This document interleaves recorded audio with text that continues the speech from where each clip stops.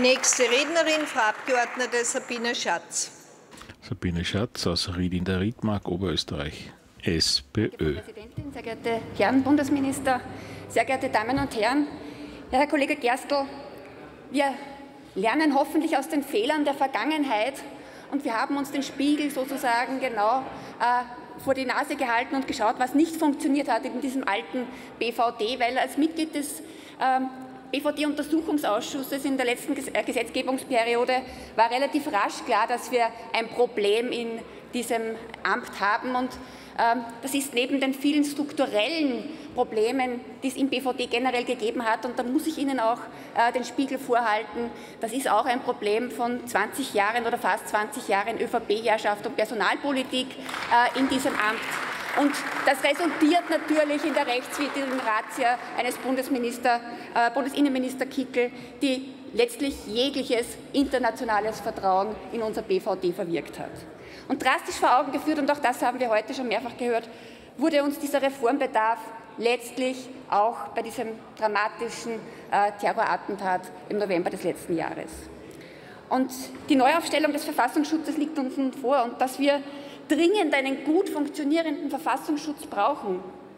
Das zeigt uns auch äh, die letzten Monate und Jahre, die uns drastisch vor Augen geführt haben, dass wir eine Gefahr für die innere Sicherheit nicht nur durch den islamistischen Terror haben, sondern auch durch den organisierten Rechtsextremismus. Und Herr Innenminister, ich halte das für gut und richtig, dass Sie diese Gefahr auch jetzt so öffentlich benennen. Wir haben ja gesehen, dass es tatsächlich eine Gefahr für die innere Sicherheit in diesem Bereich gibt, schon alleine durch die vielen Waffenfunde in den letzten Monaten in diesem Bereich.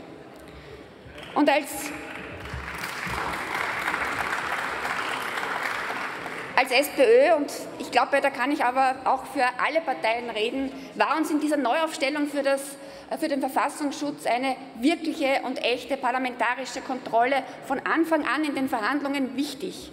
Und ich glaube, was uns hier gelungen ist, das ist wirklich eine parlamentarische Kontrolle in einer noch nie dagewesenen Form. Und da möchte ich wirklich herzlich Danke sagen und allen gratulieren, die zu diesem Verhandlungserfolg tatsächlich wirklich beigetragen haben. Ich glaube, darauf können wir tatsächlich stolz sein.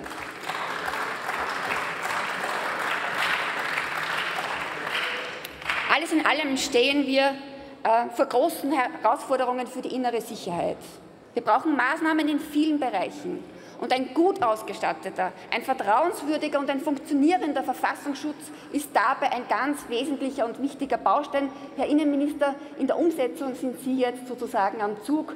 Äh, wir unterstützen, wo es notwendig ist und wo wir sozusagen unterstützen können.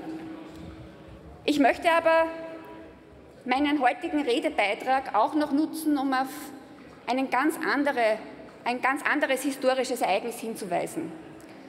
Heute, vor 30 Jahren, am 8. Juli 1991, hat Bundeskanzler Dr. Franz Franitzky hier im Parlament eine wirklich historische Rede gehalten. Er hat sich erstmals zur Verantwortung, zu unserer Verantwortung als Österreicherinnen und Österreicher für die Verantwortung für die Beteiligung an den Verbrechen des Nationalsozialismus bekannt.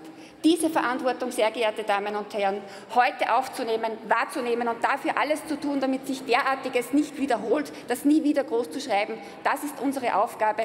Herzlichen Dank und alles Gute.